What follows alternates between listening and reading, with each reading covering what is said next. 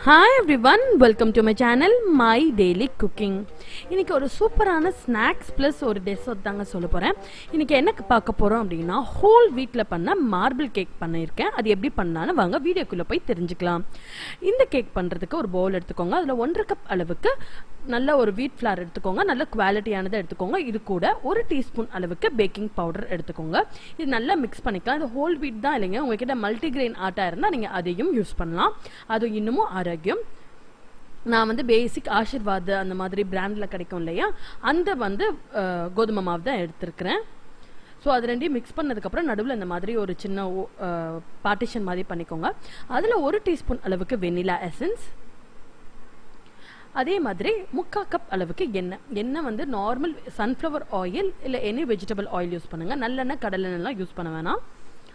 So இதை வந்து நல்லா அந்த கோதுமை மாவில் வந்து இன்காப்ரேட் பண்ணுற வரைக்கும் நல்லா இந்த மாதிரி கலந்து எடுத்துக்கலாம். நான் முதல்ல வந்து பார்த்தீங்கன்னா ஒரு கப் தான் அளந்து போட்டிருந்தேன். பட் நெக்ஸ்ட்டு அரை கப் நான் மறந்துட்டேன். ஸோ அதை இப்போ நான் ஆட் பண்ணிக்கிறேன். ஸோ அதையும் ஆட் பண்ணிட்டு நல்லா மிக்ஸ் பண்ணிக்கலாம்.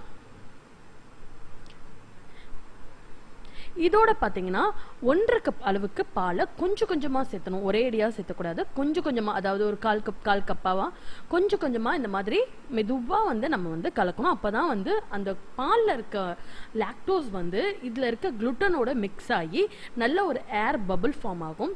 அப்போ தான் வந்து உங்களுக்கு நல்ல ஸ்பாஞ்சியான கேக் கிடைக்கும். இது ரொம்ப ஒரு முக்கியமான டிப்பு நிறைய பேர் பார்த்தீங்கன்னா ஒரு கப் பால்னால் அந்த ஒரு கப் அப்படியே போட்டுருவாங்க. பட் அது மட்டும் பண்ணவே கூடாது.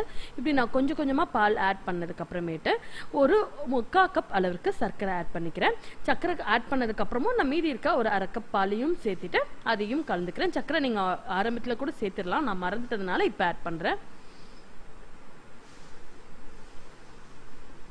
ஸோ இது நல்லா ஆஹ், இந்த மாதிரி ஒரு டெக்ஸ்சர் இது பேர் வந்து ஃபோல்டிங் டெக்ஸ்சர்னு சொல்லுவாங்க. வெளியில் நீங்கள் எடுத்தீங்கன்னா இப்போ தெரியுதுங்களா? மடிப்பு மடிப்பாக விழுகுது இல்லையா?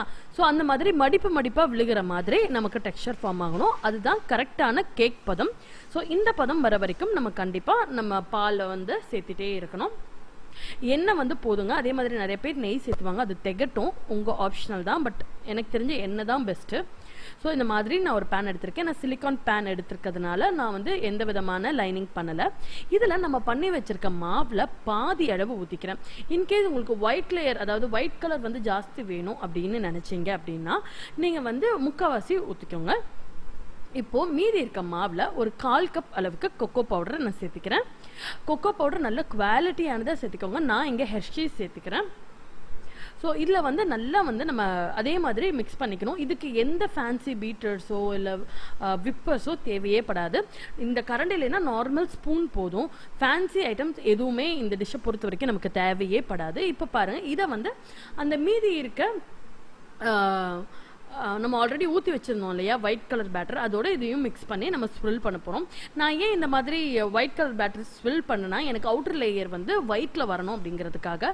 இப்போ நான் வந்து எனக்கு மோஸ்ட்லி இந்த சென்டரில் வந்து கொக்கோ அந்த கலர் இருக்கணும் அப்படின்றதுக்காக சென்டர் கான்சென்ட்ரேட் பண்ணுறேன் இன்கேஸ் உங்களுக்கு ஈக்குவலாக அது வந்து மிக்ஸ் ஆகிருக்கும் அப்படின்னு நினச்சிங்கன்னா நீங்கள் வந்து ஓவராலாக பரவிட்டு அதுக்கு மேலே திருப்பி ஒரு ஒயிட் லேயர் போடுங்க. அது இன்னமும் அழகாக இருக்கும். ஸோ இந்த மாதிரி ஒரு ஃபோக்கோட பேக் சைடோ இல்லை ஒரு ஸ்பூனோட பேக் சைடோ வச்சுட்டு இந்த மாதிரி நீங்கள் அதை வந்து நல்லா இது பண்ணிவிடுங்க ரொம்ப ஸ்பூனை போட்டு கலக்கக்கூடாது லைட்டாக ஸோ தட் இந்த மாதிரி உங்களுக்கு கலர் ஃபார்ம் ஆகும். மார்பிளில் எப்படி நமக்கு வந்து அங்கங்கே அப்படியே ஒரு கசாமசான இருக்கோ அந்த மாதிரி ஃபார்ம் ஆகணும். ஸோ அதுக்காக வேண்டி நம்ம இந்த மாதிரி பண்ணுறோம் ஸோ இந்த மாதிரி தான் வந்து நம்ம கேக்கோட அவுட்புட் இருக்கிற போது. ஸோ இந்த மாதிரி பண்ண உடனே நான் மைக்ரோவேவில் கிட்டத்தட்ட டென் மினிட்ஸ் அளவுக்கு ஹையில் வந்து வச்சு எடுத்துட்டேன். நீங்கள் நார்மலாக அவனில் வைக்கிறதா இருந்தால் நூற்றி எண்பது டிகிரி செல்சியஸில் இருபத்தஞ்சி நிமிஷம் வச்சுக்கோங்க. இல்லை நார்மலாக பேக் பண்ணுறதா ஐ மீன் அதாவது ஸ்டவ் டாப்பில் பேக் பண்ணுறதா இருந்தால் இருபத்தஞ்சி நிமிஷம் பேக் பண்ணிங்கன்னா கரெக்டாக இருக்கும். கண்டிப்பாக ரொம்ப எம்மியான ஸ்நாக்ஸ் நல்ல சாஃப்டாக சூப்பராக இருக்கும். ட்ரை பண்ணி பாருங்கள் ட்ரை பண்ணி பார்த்துட்டு எப்படி வந்ததுன்னு எனக்கு கீழே இருக்க காமெண்ட் செக்ஷனில் சொல்லுங்கள் நீங்கள் நம்ம சேனலுக்கு புதுசாக இருக்கீங்க நம்மளோட சேனலோட கண்டென்ட் உங்களுக்கு பிடிச்சிருக்கு அப்படின்னா மறக்காமல் சப்ஸ்கிரைப் பண்ணிக்கோங்க. பக்கத்தில் இருக்க நோட்டிஃபிகேஷன் பெல் பட்டனையும் கிளிக் பண்ணுங்க. அப்பதான் ஒவ்வொரு தடவையும் நான் ஒரு வீடியோ அப்லோட் பண்றப்போ உங்களுக்கு நோட்டிஃபை ஆகும். நன்றி. மீண்டும் ஒரு சுவையான வீடியோவில் மறுபடியும் உங்களை சந்திக்கிறேன். இது வரைக்கும் பாய்